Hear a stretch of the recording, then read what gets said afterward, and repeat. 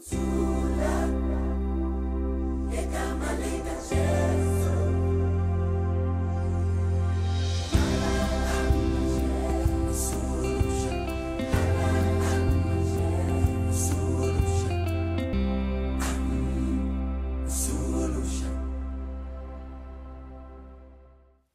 very good day to you and welcome to the program.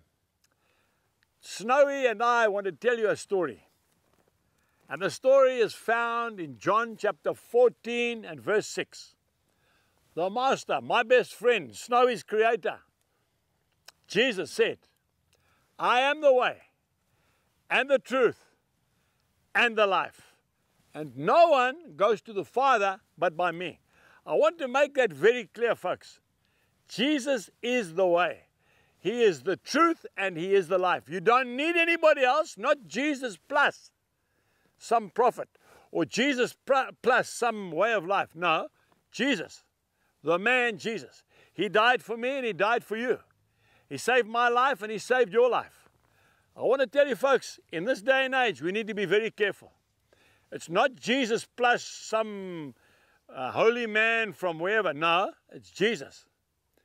And anything more than Jesus is an idol in your life. Some of you are sitting there and you're saying, Angus, I'm trying to find meaning for my life. Jesus is the meaning. Jesus is the reason. He's the only one that died for your sins and my sins. No one else. No great preacher, no, no, no, no, no famous man from anywhere. The Lord Himself, Jesus Christ. He died for your sins. Okay?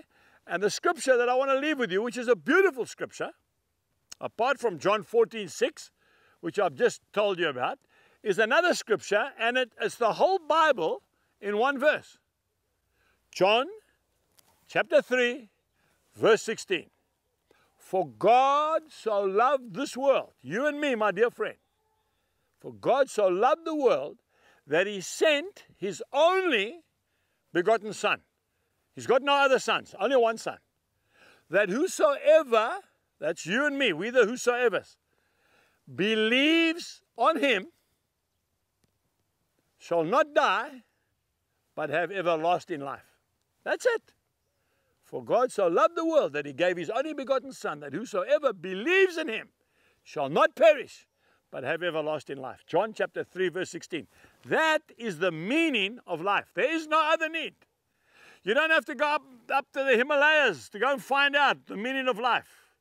You don't have to go and live in the bush for 10 years to find out the meaning of life.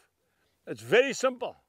Jesus said, I came to give you life abundantly. My dear friend, if you start to believe that today, you will find happiness in your life, you'll find peace in your life, you'll find a reason for living, and you'll find success.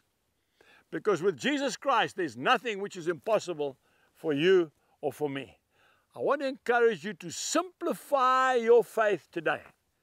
Keep your faith simple. Okay? Tell people about Jesus, and Jesus will do the rest. You see, the man I'm talking about is not a historical figure. I'm talking about a person who is alive and well today. He says, I will never leave you.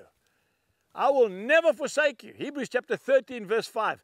The Lord is with us. As I'm sharing this message with you in your room, okay, I want to tell you Jesus is with you because He said, Where two, that's you and me, or three, are gathered together, there I am in the midst of them. So when, when, we talk about Jesus, He draws all men unto Himself. He says, If you lift me up, I will draw all men unto myself. My dear friend, you never need to be lonely. You never need to be afraid. You don't even have to strive. Some of you are trying too hard. Rest in God. He will give you your heart's desire if you delight yourself in Him. Psalm 37, verse 4. My life was transformed the day that I accepted Him as my Lord and Savior. Why don't you do that as well?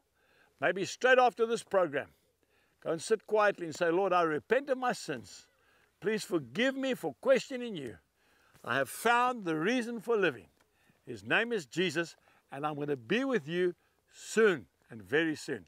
Until next time, may the Lord bless you from Snowy and I. God bless you. Goodbye. For more information, please visit angusbuchan.com.